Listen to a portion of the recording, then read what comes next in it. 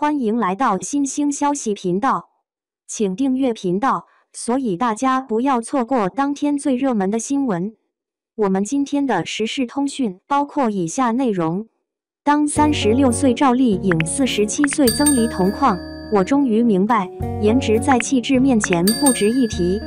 第二十条之后，赵丽颖成功挤入了电影主流圈。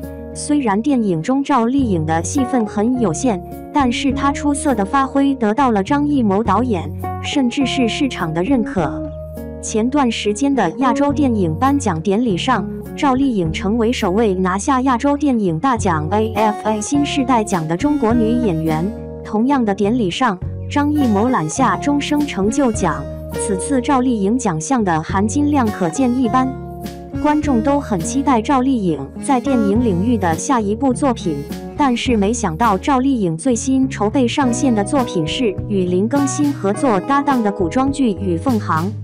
在观众质疑赵丽颖好不容易撕下的流量标签又要贴回去的时候，发布会上的赵丽颖用诚恳的态度展现了她作为演员的原则：题材不重要，风格不重要，角色的突破，自我的突破。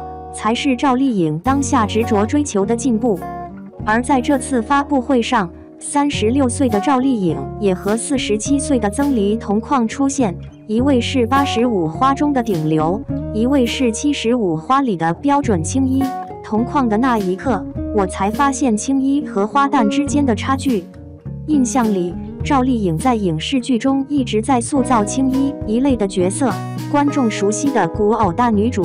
比如花千骨、楚乔、明兰、许半夏，甚至是《与凤行》里的沈黎，都应该是青衣定位。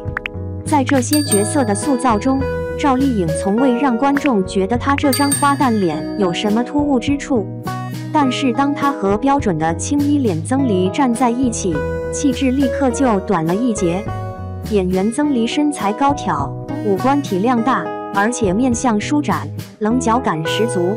用昔日同窗刘烨的话说，曾黎条件是我们班公认最好的，大个儿、大青衣。句号。翻开曾黎年轻时在影视剧中的塑造，也不难发现，他就是很有气质气派，哪怕是演配角，都能做到眼前一亮。而相比之下，赵丽颖就是妥妥的花旦脸，连赵丽颖自己都说，一些老前辈会跟我讲。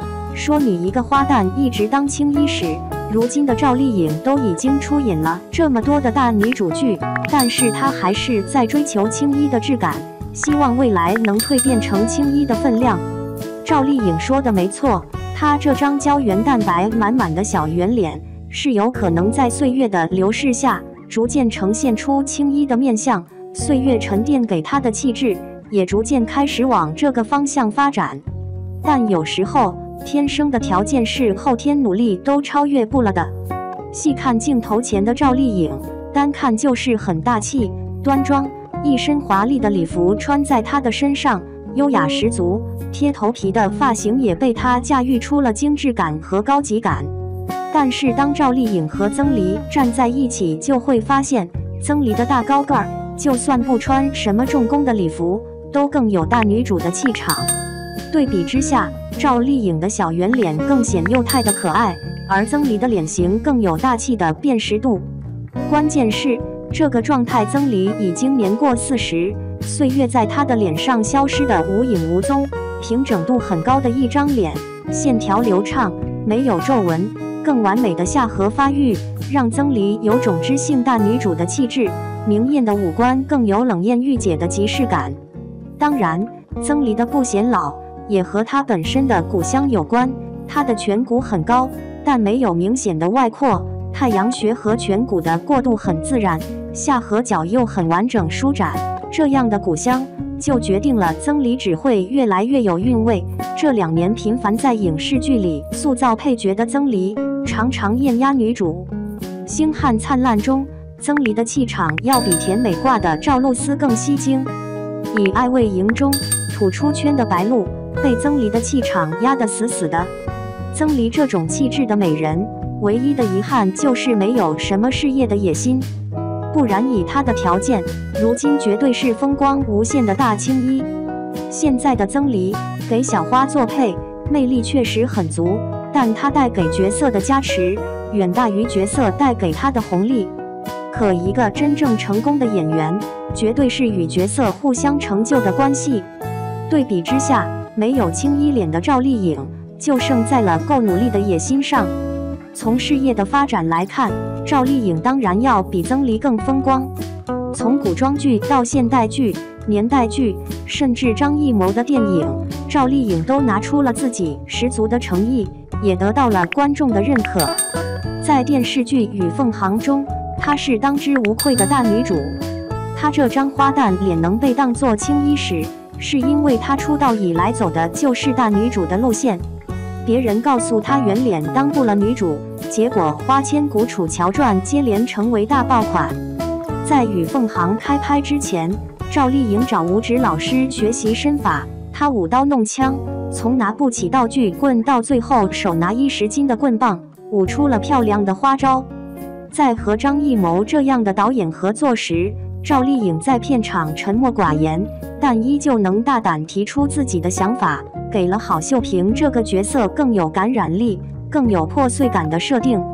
曾黎和赵丽颖的区别便是，前者是天生的女主，但却松弛的不争不抢；后者是花旦的条件，却野心勃勃，一路扶摇直上。作为观众，我不能评判二人作为演员的规划孰好孰坏，但我可以肯定，两人都在自己选择的这条路上，活成了自己最舒服。最满足的模样，曾黎和赵丽颖的同框，证明了青衣和花旦的区别，证明了气质比颜值更为出众亮眼，甚至颜值在气质面前一文不值的事实。但二人在影视剧里的位置，也证明了演艺圈从没有什么固定的规则，努力有时候可能真的会比天赋更重要。不过话说回来，与凤航开播在即。赵丽颖和曾黎这一对风格完全不同，同框却有着明显气质参差的姐妹花，面对的始终都是市场的考验。赵丽颖能不能持续稳住大女主的光环，还是一个值得观望的看点。最后，你对曾黎和赵丽颖同框的不同气质有什么看法？更喜欢曾黎这样的气质大美人，还是赵丽颖这种颜值小花？在评论区参与讨论，分享你的看法，或者预测一下《与凤行》播出后两人的市场风评吧。